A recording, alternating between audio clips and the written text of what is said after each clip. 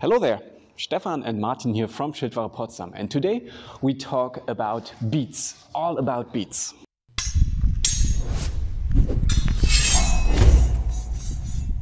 A beating action with a sword is basically one that displaces the opponent's sword to give you an opening for you to attack into. Okay, so for example, if Stefan's blade is here on my inside, so for me it's on the left side of the sword, then I want to also displace it, or I can displace it here and strike into that opening, either with a thrust or a cut. Okay, there are, in Giovanni della dall'Agocchie at least, two ways that you can perform a beat. The first one is with a true edge. Okay, so the true edge strike would be just throwing a basic mezzo mandritto or even a full dritto or dritto tramazzone, so going all the way through and then striking on that inside space around here. The most prominent one is just displacing here and then thrusting the punta reversa. Why? Because, well, you're still covering that line fairly well. Okay, another kind of beat would be with the false edge. So especially if my opponent is in coda longa stretta, right, then performing a beat with the true edge isn't that feasible anymore. If we just rotate a bit here, yep, that should be fine, then you see that that sword is pointing towards my dominant shoulder quite a bit. If I strike with the true edge around here, then, well, my sword just gets collected into the strong of my opponent's blade. And since my beat is directed towards the sword, well, that leaves me quite open. Okay, so either Stefan can just thrust around my own blade, but even if he then just turns his blade into guardia di faccia, he would probably get the best of me. And I don't like that. So instead, I want to strike that sword perpendicular. So not striking into that angle, but into basically the flat of the blade, striking it now into this direction, not in that one.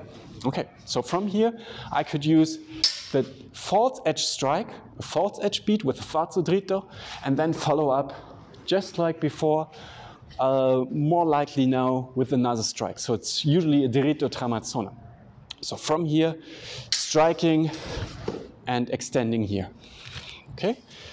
Another opportunity that would be also totally covered by the source would be especially if the opponent's blade is maybe a bit uh, lower, then collecting that blade from underneath with a false edge strike would be feasible as well.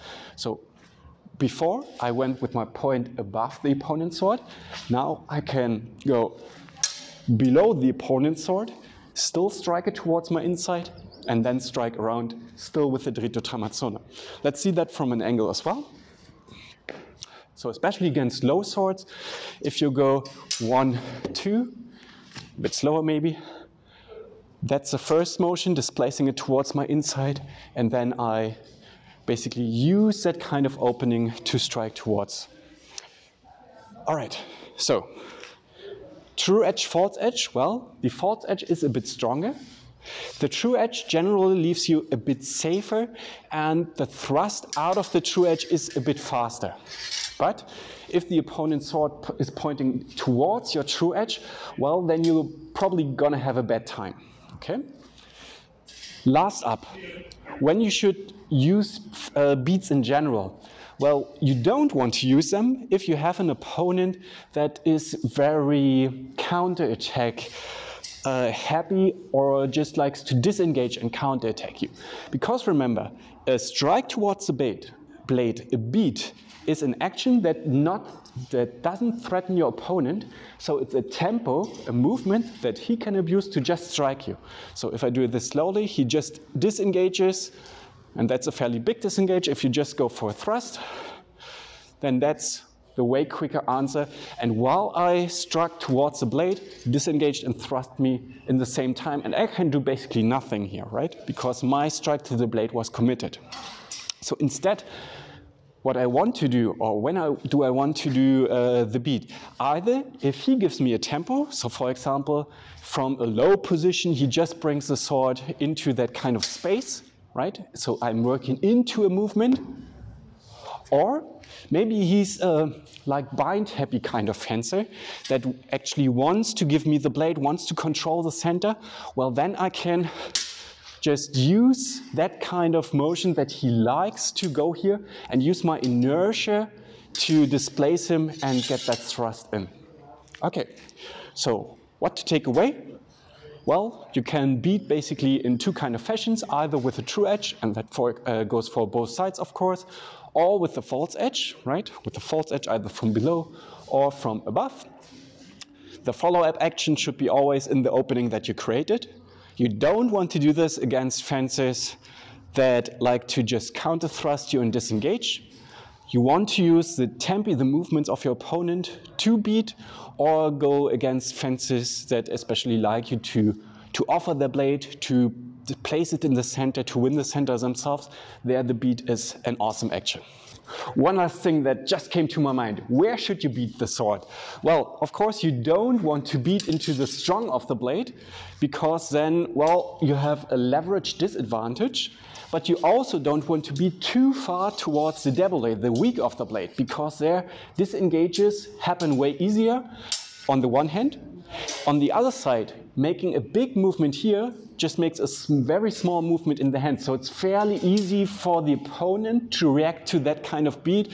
And even if I strike it here, well, they can just absorb the pressure and, for example, with the tramazzone come back around. Okay? So where you generally want to strike your beat is around the mezza spada, the middle of the sword, maybe a bit towards the beak, maybe a bit towards the strong. So this, all this area is kind of fine. But here you can uh, transfer a good, good amount of energy into the opponent's blade, also displacing their hand quite nicely, while not risking so much that they just disengage around. Okay. If you have further questions, just leave them in the comments. Until next time, take care. Bye bye.